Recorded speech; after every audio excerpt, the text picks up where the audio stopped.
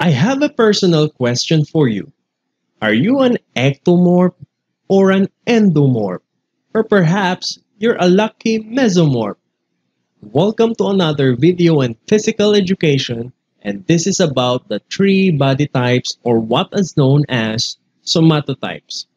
Every single person has a specific body type and knowing yours can be a great help in building the body of your dreams.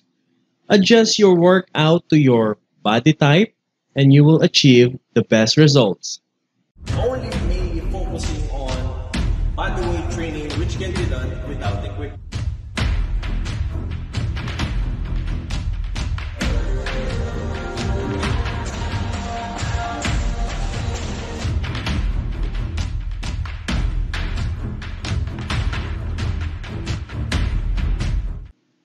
Let us start with exploring the body types first.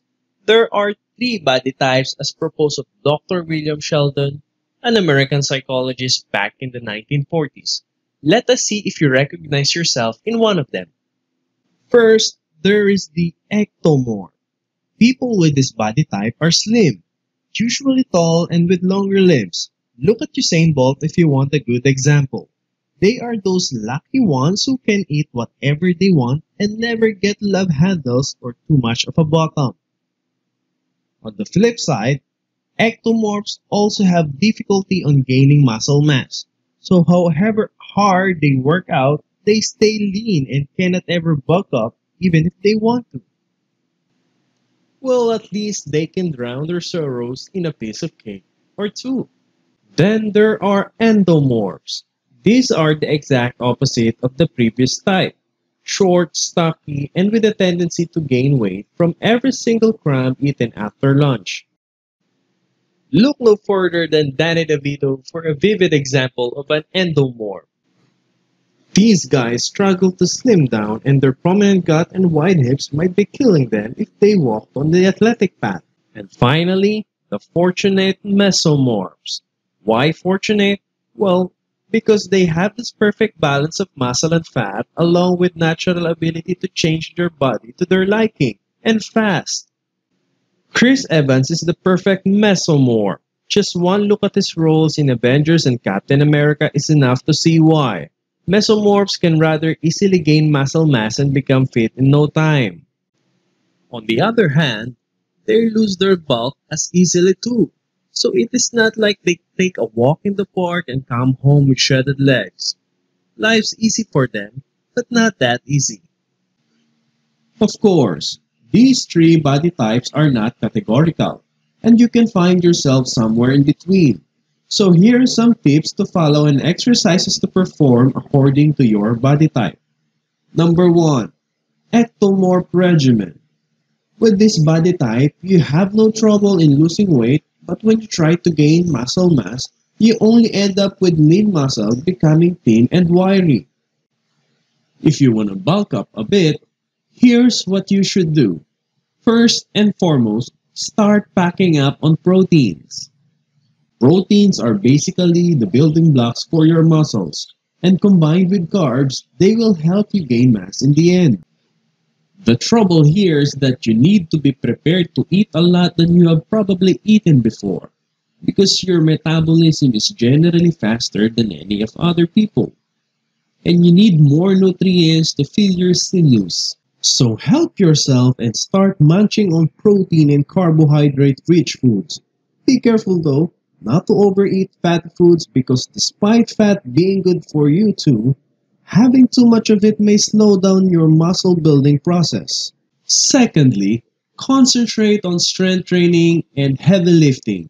Compound movements are your best friends. Basic exercises like deadlift, squats, crunches, and push-ups engage large muscle groups, helping you build your physique faster and easier. Isolation exercises, on the other hand, will only slow down your progress as they only see one or two muscles working. And thirdly, do not overdo the cardio. Running, swimming, or cycling is nice and all, but cardio workout makes you lose weight, not gain it. And why would you want to lose to any more of your gain when you are slim as a branch? Still, do not overdo it does not mean you do not have to do it at all. Low intensity cardio helps you get your blood pumping, delivering nutrients to your muscle tissues. That is, even if you are packing it with proteins and carbs, they will have better effect on your body if it's warmed up correctly. All in all, if you are an ectomorph, concentrate on eating a lot, focus on strength exercises, and go easy on cardio. This way, you'll see excellent results very soon. Number 2. The endomorph regimen. For this type, it is typical to be heavy around the waist with smaller shoulders. You have genetic factors to blame for that. In fact, there are fat storing mechanisms at work inside you that prepare you for hungry times. So it is better to focus on how to shift your weight from the waist to the upper body and make your overall shape balanced. I will not be hiding bad news from you. Endomorphs have the hardest time losing weight. On the bright side, you do not really have to run for hours on end, drowning the treadmill in your sweat. Certified trainers will produce as long steady cardio workout does not really help burn fat. Interval training is much more effective and takes much less time than simple running or cycling. Sprinting is a great burst technique that you can adopt to lose weight faster. Oh, and forget about crunches. They work for other body types but not yours. Crunches are good for shaping the muscles but they do not burn fat at all.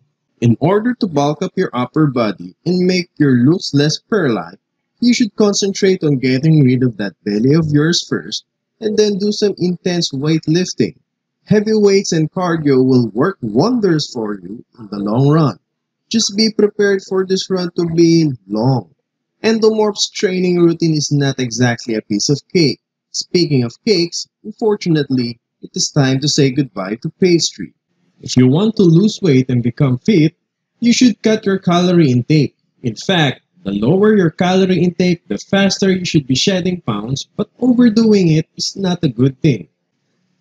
Now, summarizing all the things I just told you, go for intense interval training, ditch long running sessions, bulk up your shoulders with weights, and cut your calorie intake.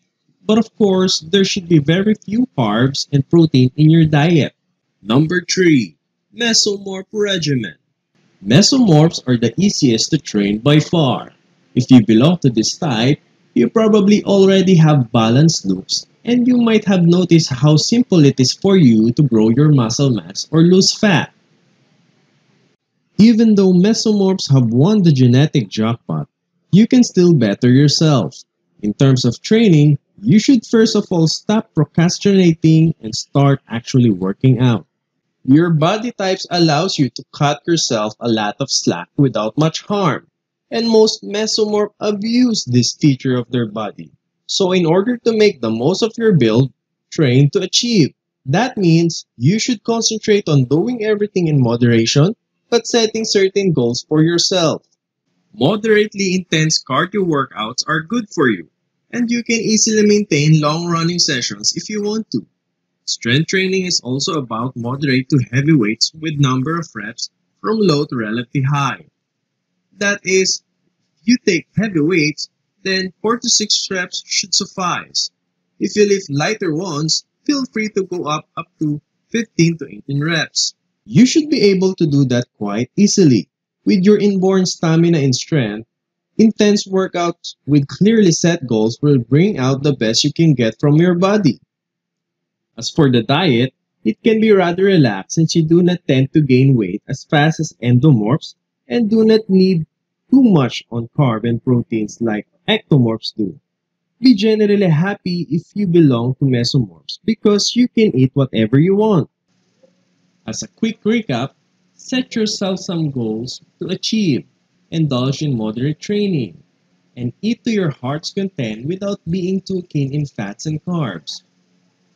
But what if you start training with bodyweight exercise? Would you be able to achieve the body of your dreams with this type of training?